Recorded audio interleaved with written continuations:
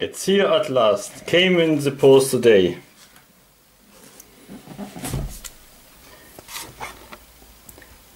It's from Irish Rail Models, that's what the company is called. It's an Irish Rail A001 class. I ordered that a couple of months ago. Pre-ordered it.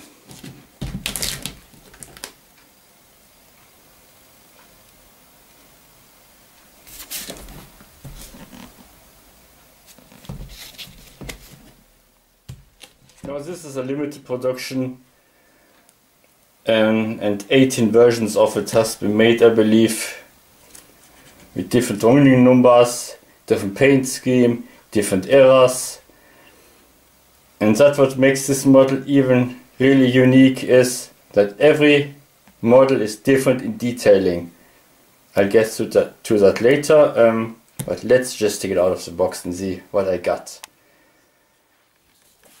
So like I, I never took it out of the box, so I'm looking at it the first time. Plastic cover just slides off. That model is actually DCC ready and sound ready. It has a speaker already installed and even a power bank. So let's just lift this up. Oh, rather heavy. Here it goes. Okay, so we got an instruction.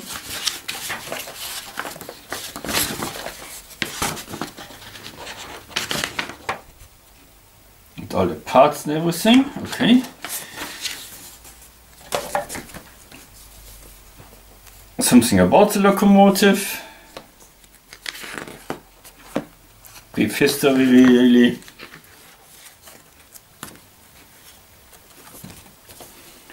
now the locomotive the prototype was built by Metropolitan Vickers in 1955 to 56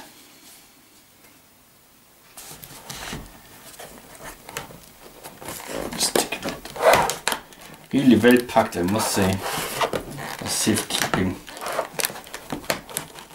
And quality packaging okay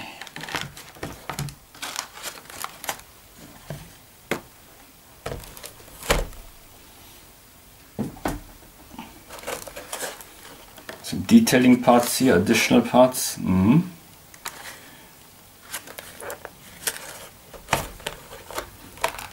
And like I said, that's a limited production. Only a certain amount was made and I don't think they're going to make it again in the near future.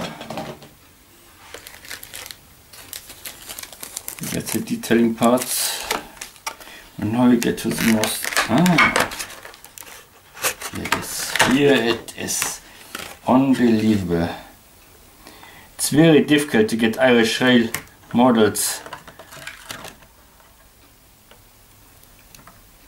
So, if anything is available, grab them while you can. I leave a link in this description of the video if you want to order one yourself. Do hurry up, I just checked the website, there are only a few left.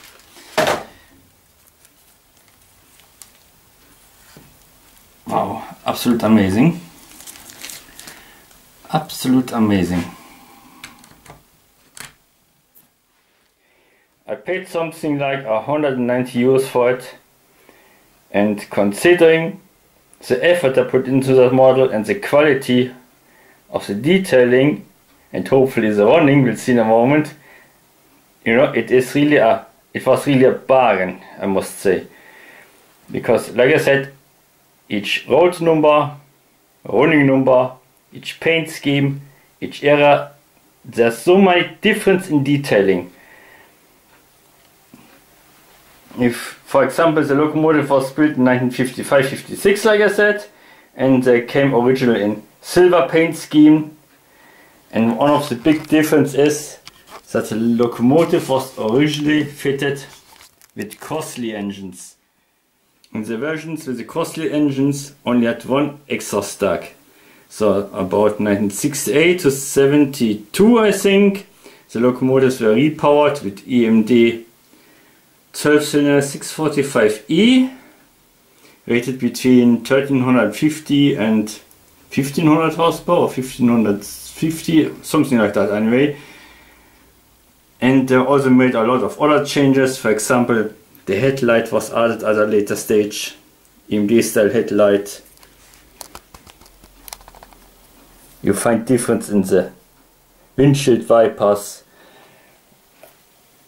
Difference in the air intakes. Radiator one or air blower. You know a lot of little things like that. Difference in the plumbing where the fuel tank is difference on the bogies or chocks you might want to call them. For example the very early ones when they were delivered they had sandboxes here. They were later eliminated just like on that one. The model has here roller bearings. One of the difference for example is on the road number 054 you got here wire mesh that is done to fit to protect the cab signaling system also known island as CAWS C-A-W-S yes. And, and here vacuum brake hose couplings. Yes they are spring loaded the buffers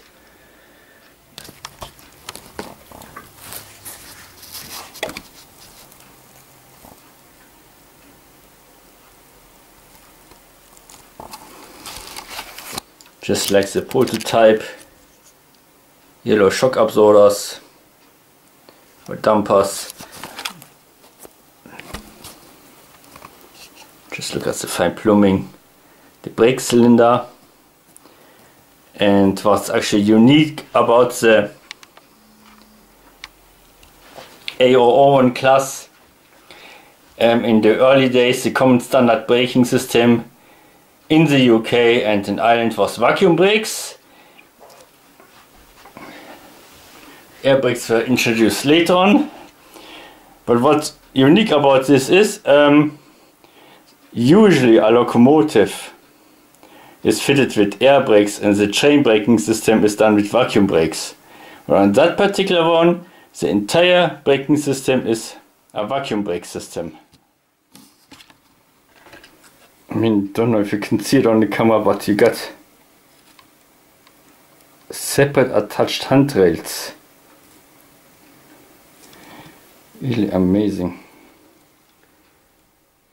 And another thing you see is a token catcher snatcher because not too long ago the standard on single track main lines in Ireland was a token or staff system to enter a certain section of track and long time ago it was actually possible to exchange tokens on the move. Basically that's how you had a token snatcher. Later on you had to stop to obtain the token. I believe it was for safety reasons. And of course nowadays you get all CTC maybe there's still one or two lines in Ireland that still uses the token system. Yeah, look so look out from the top again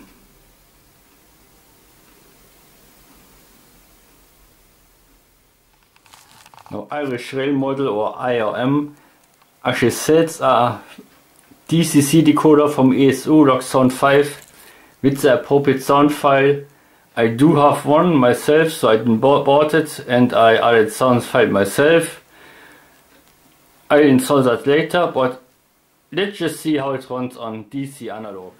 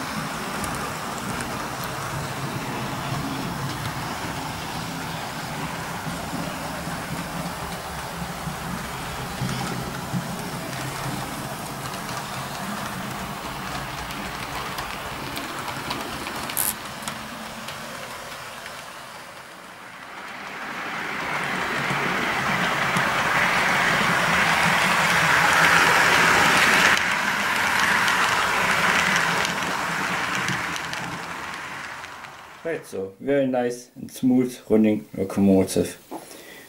Worth every penny of it.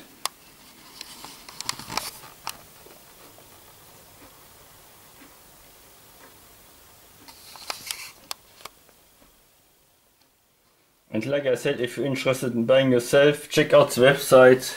Post a link in the description below. Irish Railway Models or short IRM. Here we got the different versions. Like I said, that's a very early one. Silver. Most of them sold out. At the moment only 16 of them are left. You know, there's still a few available. Do hurry. 66 there at the moment.